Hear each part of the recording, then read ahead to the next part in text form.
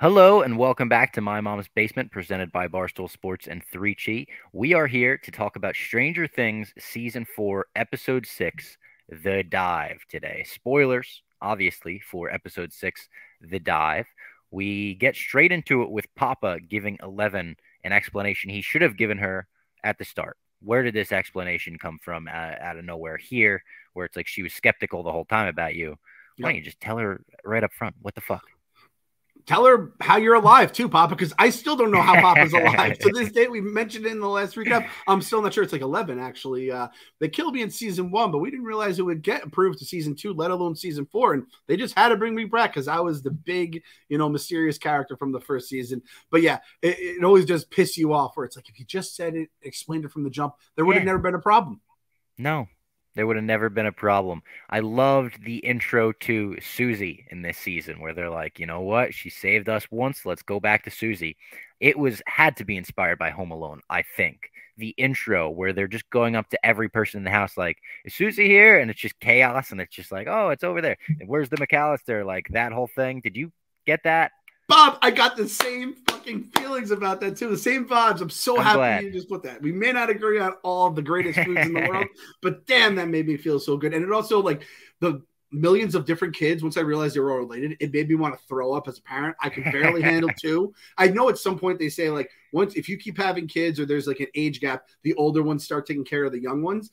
Still, just seems so fucking uh, impossible. Even and then even like these kids getting a map out and be like, oh, let's go to Utah based on this old ass map. My wife was like, how did they figure out how to get there? I was like, they had a map. She's like, oh yeah, that's right. Like maps are so distant to us. Map Quest was a thing once upon a time. I couldn't imagine doing Map Quest these days, let alone like anything but my phone that is constantly connected to the internet. Even like an old GPS that you're just relying on shit not updating. Crazy to me, crazy. And also, speaking of Suzie, Suzie fucking rules. I thought I was gonna hate her when they introduced her in season three. I fucking love Suzie, great. man. Yeah.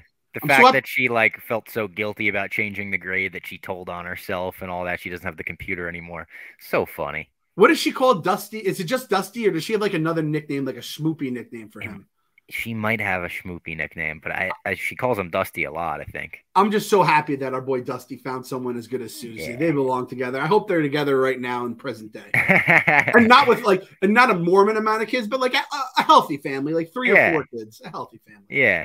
Um, Argyle meeting Eden, so funny. The way he was just like hard eyes for her immediately, like couldn't even. He was fumbling over his own words, and I loved that. And Eleven with the Plinko game, where she's dropping the thing, she wants it to go into three. She made that Plinko game look so much fun, look like so much fun. Like I know she's in an asylum and it's like kind of a prison, but I was just like, damn, I want a Plinko game. I want to see if I could get it in three. Plinko is such a great game. It's my Yeah. favorite Price is Right game. Is your is it your favorite Price is Right game? Oh, big time. Of course. And listen, I love I love Price is Right in terms of skill, but Plinko is just basically blind luck. Also, my wife made a point. She says Eleven could never get the the uh, chip in number three, and she's like, "Does that mean anything?" I'm like, who the fuck noticed that? Like, I think my, my wife's on the sus list now. We're putting her below fuckface and Papa on the sus list, but she's on the sus list nonetheless. might mean something. Yeah. It, it honestly may. that like the Duffer brothers, they're in their bag right now. I think we can all agree on that. Other than Plinko, because I think that I think that's the case for most people. What is your favorite Price is Right game? The wheel? The, the wheel? Okay, that's a Yeah. fair that's a fair one. Mine is the Yodeler. I love the Yodeler. I love the song. I love when it falls off the top. I and it's it's just the best. I I fucking think love the Yodeler. wheel because when the wheel hits, with the videos of the wheel actually hitting are electric. People going Yeah. banana when it hits the little tiny one. And it, it Yep. just goes in there. Oh, it's the best. And I don't know if this is a pandemic thing or what. I can't remember the last time I even turned on Prices Right. And I used to blog yeah. it like religiously, and it's like it doesn't even exist anymore. It's wild how my brain is my like Probably been a decade changed. for me. Yeah. Jesus. Shout out loud Sean too. Prices Right. of course, yeah. um, two, real dick. Just two. He he has the face of a dick too. I feel bad saying that because it's a, a young kid. Obviously, hope he's not uh my mom's basement dweller. But yeah, just as soon as you see his face, you're like, he's gonna bully eleven, and he does. He bullies eleven. He's a dick face. His name is Dick Face. The other guy's fuck face. Yeah. This guy's dick face. There's just no way around. You're born with a dick face. You're a dick. It's just how it's going to be. Sorry to tell you. Two.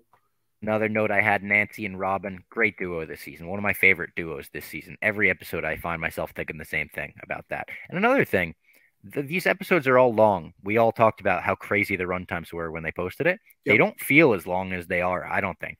No, eh, that's a sign of good TV. I feel is when Yeah. you like blink your eye, blink again, and then you're like, oh shit. Now, if you're looking at the clock, now back in the day when it actually mattered because you were watching TV on TV and you knew something else was coming on at ten. But if you're just looking at the clock, you're like, wow, we've been sitting down for a while, and then you pause it. And that's the thing. It's definitely you have to pause it now to see how long you have left. And you're like, Yeah. holy shit. And I do appreciate, I do appreciate how Netflix at the end, it's not how long the episode is, but how much time you have left. I like that I as well. appreciate that they do that. So that's like a little niche. They put it beginning and end, right? Yeah, Like, yeah. mhm. I like that. That's Yep. the way. That's the way to go. It was very funny when they're at the like town hall scene talking about the Hellfire Club as a cult, and they have the picture of them, and it's like, this is who we're going after. This is the least intimidating cult of all the guys. This is nerds. What are we talking about here? I feel like that town hall has like a yearly, an annual, if not weekly witch hunt. Like that's just what they do in Yeah. Indiana. I feel. I have to ask Vibs. Like Vibs, how many people did Well, you, you witch, hunt back It's in in? Indiana. It lines up. Maybe it's like right next to Pawnee from Parks and Rec, where all the citizens are just that dumb. Oh wow, we're going at the Indiana listeners hard today, huh, Bob? Pawnee's a to this, fictional Jordan. town. Come on. so is Hawkins. So is Hawkins. But I, I, honestly, if you tell me that like they're doing witch hunts in Indiana, like as we're like someone, a basement boy is like, dude, I just got back from witch hunt and I'm watching you guys now. I'm not going to be too surprised. I just feel like that's what they do out there in Indiana. Again, I feel like it's like they would never do it to people that look quote unquote normal. It's like if you're a nerd or a little bit of a freak, like they probably were ready to hunt Eddie just because he has he has long hair as a man below his like shoulders. Oh, yeah. Like witch, kill him, kill him. I I hate it that the fucking uh like when the townspeople and it was all quiet and you're like, oh, they're not buying it, and then they're like, let's fucking go. I was like, no, the one And- guy, yeah. Yep, and the cops, the cops being in on this too. Like they're the same cops from season one. I just uh, found out, and it is kind of funny. It, it just feels very Indiana-y to me. Is Eddie Munson Eddie Munster? Is that like a reference to Eddie Munster? Every time they say it, I think about that. My wife thought the same thing, but the Munster's last name is Munster, so I don't know if they're Yeah. trying. You just know, changed it a little bit. And then Munson, I always think of Kingpin, but I don't think he's he's Roy Munson in Kingpin, so that has nothing to do with Kingpin, which would be a weird tie in there. Um, yeah. I, I'm, I'm with you on that. That would be a very weird tie. yeah. Uh, the American Tendo scene is funny. I like the American Tendo. Yes. I kept talking about that. The compass scene I thought was very clever, where they're like, "Oh, I didn't realize where Skull Rock was." Not because I have my directions wrong, because the compass is not pulling north anymore. It's pulling to the different gravitational pull now. Chekhov's flamethrower. We had a flamethrower mentioned. Oh, I have a flamethrower. I was like, okay, Th- uh, write that down. And then I don't even know what my final note means. Holy sh- heck! Did someone say that at some point? I think I think one of the kids might have said it around the parents. I could be wrong, but that sounds Maybe. that that might check out there. Um, that that that might have been yeah. Holy shit! Heck yeah! I just Yeah. I wrote that down as a, something that made me laugh, but I don't remember the context of it. My to my head. bad. yeah. Well, welcome to the fucking club. I'm 40, and like, again, that's the other thing I've noticed in the last two years. A lot of brain cells have just kind of just been like, Yeah. I'm out of here, deuces. It might be the friggin' Yeah, yeah, there it is. tobacco use only. Mind flayer, indeed. I I could personally do without seeing the piece, the faces of the people killed by Vecna. That's just oh great. yeah, my working theory as of right now is Vecna is Barb. Uh, I haven't mentioned Barb nearly enough on this uh, breakdown so far, but I've had multiple theories about Barb being like the big bad and all this, which is kind of hilarious how big she was back in the day. Um, Yeah. She was like became like the, justice for Barb. Everyone Yeah. doing the. and I was it's so much. like- I thought she stunk as a character. yes, thank you, Bob. I fucking We might have Barb. the the justice for Barb people come after Yeah. us now, but They they probably they're probably gathering in Indiana right now, ready to hunt us anyway, right? she was just annoying. Yeah, she was the worst. I, I didn't feel the least bit bad. She was just annoying, if anything. Yeah. Um, uh, kind of mentioned the Hopper storyline. Starting to get a little tired of the Eleven storyline too. It's like, all right, tell us what the fuck happened or Yeah. shut the fuck up. Eleven, she's not on the sus list. It just looks really bad for her every single time they go through this thing. But they keep like reliving the day. Like, it's like, I just don't. I don't need to see this shit anymore. I've just had enough of it. Um, another thing I hate. I hate that I'm starting to love Steve after what he did to Nancy because I was so I was hashtag done with Steve in season one wow. because what he did to what my sweet Nancy Yeah. Wheeler still makes me mad to this day just thinking about. I can't even. I forget about that. Like I forget that he was that guy. Yeah, it's like yeah, it's like a complete character change, right? At yeah. its core, and he's done a ton of stuff in the last few seasons to make like wipe that away. Both like good stuff, helping the kids out, and just like you just realize he's not a bad person. You read Nancy Wheeler is a slut on like the cinema in town in Indiana of all yeah, places. Forgot like, about that. Ah, I'm so fucking mad right is that now. the biggest character change, heel to face or face to heel? Or, since Hulk Hogan. Since Hulk Hogan. Since Hulk Hogan. But what's the biggest one since then? Is it Nate the Great? Might be. It might be. Yeah. That Nate, and Nate, Nate the Taint. You want to talk about someone I loathe right there? Oh, Nate the fucking Taint. Nate the don't fucking, even get me started. Nate the Snake is what I call him. Don't even get me started. By the way, did you see my tweet the other day where my wife, the, uh, I saw a snake slither in the garage? Yeah, I, I did and, see this. and my wife, my wife was like, "Oh yeah, there was a, I saw a dead snake in the garage a couple like years ago," and I was like, "Why didn't you tell me?" She's like, "Oh, it was only like it wasn't big. It was only a foot." I'm like, "Oh, by the way, if you if you think a foot's uh, not that big, that's a good thing for me." And uh, I was like, "A snake is a snake. You just don't tell someone that snakes could be in their house." What the fuck was that, Bob? Sus list. Wife Clem, is definitely on the sus list. Clem, I got a very similar situation. I'm going to pick up the computer here and I'm going to go for a walk with you. I woke up to something today. My girlfriend's on a business trip, and I was like, "Why is there a book on our floor?" She she trapped a spider under something and left it for me to kill. She knows that's her job. I'm not into spiders, so the girlfriend ep- might have to be on the sus list. You're all right. Both the, the basement girls are on the sus list now. I'm sorry, Both basement ladies. What are they, what are they leaving for us here? Spiders and snakes, Clem. And I, you know, what? I'm I don't fear snakes. I'm not an anti-snake guy. AJ says he's allergic. I'm not really an anti-snake guy either. Right, uh, but when you see them, it fucks you up because I saw a spider in. too that I killed, and it, this is the worst part. I killed a spider, and then I uh, like throw the tissue in the toilet, flush the toilet, Half an hour later, go back into the bathroom. The spider is dead, but it had just come back up. Like the body's haunting me. It went up the water spout, down came the rain, and washed the spider out. Out came the sun, and and itsy bitsy spider went up the toilet again. Yeah. Wow. I fucking lived a fucking childhood riddle, or, or I guess I, I basically woke up in the upside down today and had to run my way out of it to live forever that's an adorable note. That's the only thing that makes you feel good is she wrote Spider with like the sad face. But our guy Bob yeah. Fox, every episode is like, I'll tell you, didn't have to do with these spiders and these bugs. Well, no, this is this is true, and people are going to take my man card away. She usually does kill bugs in the apartment.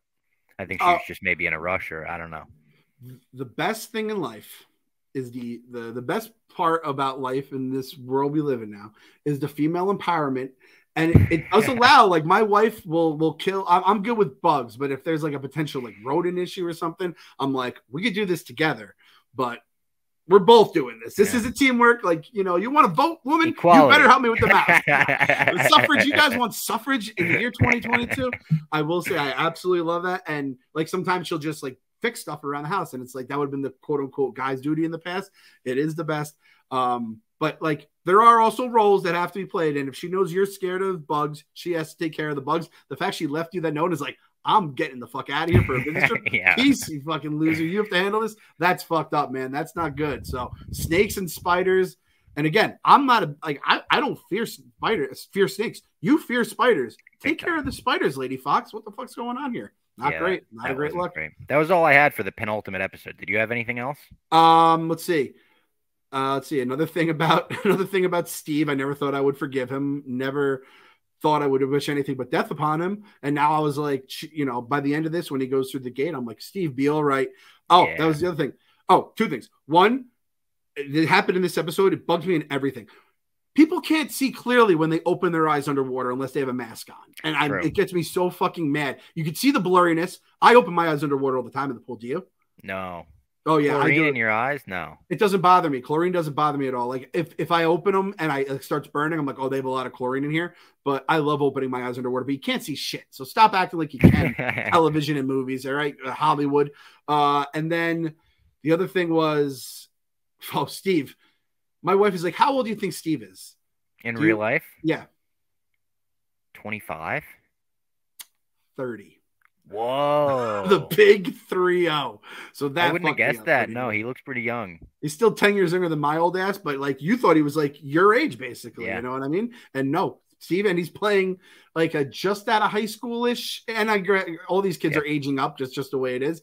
But uh, shout, I guess shout out to him and like his like moisturizing products because he's pretty youngish. Like Jonathan seems like he could be my age. He seems like forty. Jonathan he he's living that hard life. And he seems like yeah. someone who like inside rooms where they smoked a lot inside. He looked 40 in season one. Yeah, he did. He was supposed to be in high school. Yeah. And by the way, Jonathan, just straight up not giving a fuck about his photography at NYU, just threw that out the window. Probably because he's mm. poor and his house keeps getting ransacked and destroyed. He's but, like got um, no future at this point. Yeah, exactly. So he doesn't give a shit about age.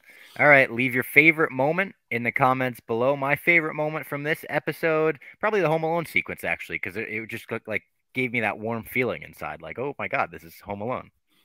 This okay, my favorite scene. Actually, we didn't even mention my favorite scene, but it was Hopper realizing that they're feeding them to then feed them to the Demogorgon or whatever the fuck is going to be there. That. that was the Hopper scenes as the season went along. Hopper scenes got better. Yes, agreed. And this is my question to you now, Bob. What would be your last meal? If you a midway cheesesteak from the Jersey Shore Boardwalk. Oh, I love a midway cheesesteak. Bob, my fucking guy. Um, when I went to prom, we went to Seaside, and I think I ate seven cheesesteaks that weekend. they are the greatest fucking food of oh, all time, and I will so not good. dispute fucking anyone choosing a midway cheesesteak as their final Uncle meal. Uncle Fun, I'm wearing his hat right now. My uncle Den. Um, got a midway cheesesteak earlier this morning. Might be why it's fresh on my mind, but I've said that for years. Like, oh my god, if I'm on the electric chair and they give me one final meal, give me a midway cheesesteak. It's funny. I've obviously I've aged out of and you know I've aged out of being a seaside guy. We do the Wildwood now. We're kind of we do some Delaware trips and stuff to some nice beaches, and it's a little more quiet with the kids. But I have thought in the past can I maybe just swing by Seaside real quick and just get a like just go that whole that way just for the Midway cheesesteak? It is that fucking good. Anyone going to Seaside at all during the summer? I've driven down for a Midway cheesesteak. Hour You've and a half. Oh, Jersey yeah. boy, oh, just oh, doing yeah. it. Oh, Jersey corn too. Mwah, great fucking sweet so corn. I love. Yeah. I'm a big corn. You're a big corn in the cob guy. Oh, yeah, yeah. Huge corn in the cob. I have I, some in the fridge right now. There's a rip off Nando's that I found in Jersey City when I came back from England. I was like, I got to find some peri peri chicken, and they they do peri peri corn where it's like kind of like spicy corn. Oh, it's so good. Oh, that's some good shit, man. I guess my my go to meal would be uh it's tough to do because it's not like a like Midway is you get that at Midway, but it's like a, a homemade spaghetti meatballs. Like oh, kind of like yeah. we were talking last. Maybe I'm gonna have to try Mama Fox's. Maybe Mama Fox will be my my go to. Mama Clem makes a great uh, spaghetti, like a great sauce, even though she's Irish. Papa Clem actually, Papa Clem spaghetti meatballs. That that would be my my choice. If I'm going like, you know, not a specific homemade meal. Uh, let's just do like a, a some pizza from like my local spot. I'm not too yeah, much of a call. Oh, we load up with some Ben and Jerry's too. Give me some Ben and oh, Jerry's oh, yeah. cookie Chunky dough. Monkey. You're chunky monkey guy. I am a, a monkey, cookie dough and chubby chubba hubba is actually my my go mm. like my number two on the list. So actually, there it is. Give us your favorite scene below. Mine was the eating, right? And Bob, yours was the Home Alone. The Home Alone scene, which was awesome. Give us either your favorite scene or your favorite your, your meal if you're on death row for something you know dem- you're, you're killing people Demogorgon style. And this was the penultimate, penultimate. part one, uh, you know, of just part one recap. So come back tomorrow for the finale of part one recap.